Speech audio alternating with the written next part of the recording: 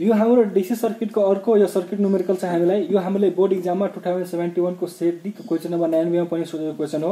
यो क्वेसनमा के भन्छ कि इन द गिभन फिगर एउटा फिगर दिएको छ the current through three ohm resistor is zero point eight ampere find the potential drop across four ohm resistor हामीलाई एउटा फिगर दिएको छ र यो फिगरमा हामीलाई थ्री ओम रेसिस्टर र सिक्स ओम रेसिस्टर हामीलाई प्यारल कम्बिनेसनमा दिएको छ र यसमा three ohm रेसिस्टरबाट zero point eight ampere current pass भइरहेछ र यहाँ हामीलाई भन्दा कि find the potential drop across four ohm resistor अब हामीले यो फिगर हेर्ने बित्तिकै के एनालाइज गरौँ कि यहाँ एउटा सेल छ भन्दाखेरि के यो सेलले एउटा करेन्ट आई पास गर्यो।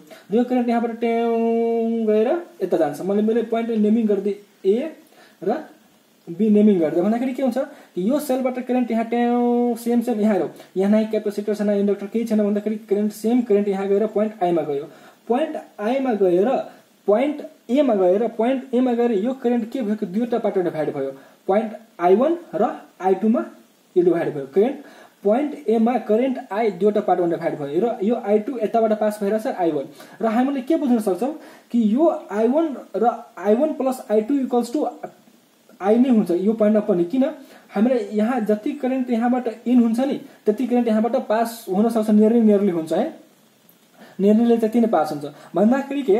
हामीले यहाँबाट आई टू निकालिदियो भन्दाखेरि के? हामीले I one plus I two आइहाल्छ। त्यहाँबाट हामीले आई निकालेपछि त यो सर्किटमा यो फोर ओम रेसिस्टरमा हामीलाई त जति करेन्ट यहाँबाट डेलिभर हुन्छ त्यति नै पास हुन्छ। किन?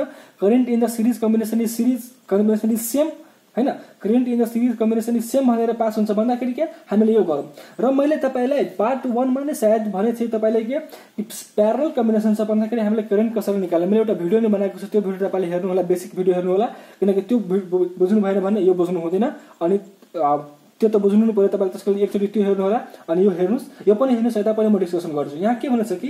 Here here at point at point A the current the current i, d i v i d e s divides into into i1 and i2 ल, मैले यसलाई नेमी गरिदिए मानिदिन्छु है। यसलाई मैले आर वान मानिदिएँ। आर वान इक्वल्स टू मैले मानिदिएँ आर टू अनि यसलाई R three मानिदिएँ। I two which as which which P S S S passes through R one and R2 RESPECTIVELY respectively. अनि मैले तपाईँले फर्मुला के भनेको छु कि? I one is to I two equals to one by R one is to one by R two यो कसरी हुन्छ हामीलाई? I equals to V by R हुन्छ। प्यारल कम्बिनेसन भने voltage same I one I one अनि I two equals to V by R two यसको ratio निकाल्नुहोस् ratio निकाल्नु हामीलाई यस्तो आउँछ। Equals to one by R one भन्दाखेरि three is to one by R two भन्दाखेरि सिक्स आई वान भन्दाखेरि के zero point eight is to I two I two यति कुरा आयो।